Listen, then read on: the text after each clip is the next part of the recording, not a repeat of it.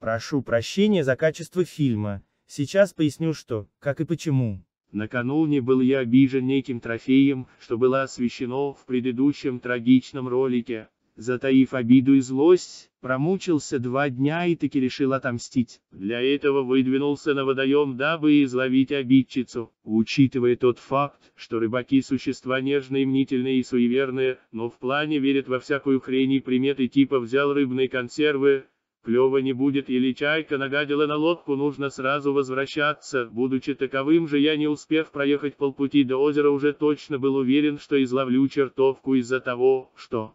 Правильно, я таки забыл дома экшн-камеру. У меня тоже свои суеверия, забыл камеру. Поймал монстра, взял большой подсак, не увидел ни поклевки, ну и наоборот. В общем, приехал я на точку.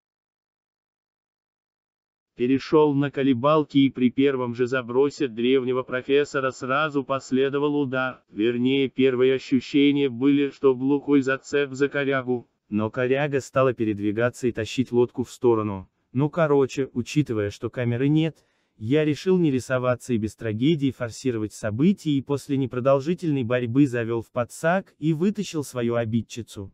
Однако я еще не был уверен, что это та самая щука, но в пасти у нее при детальном рассмотрении был найден тройник от моего воблера. Все-таки она, увековечить финальные события решил на камеру телефона, а то вдруг кто не поверит. Через минут двадцать взял еще одну хорошую щучку, ну и подлещик, клюнувший на колебалку, порадовал.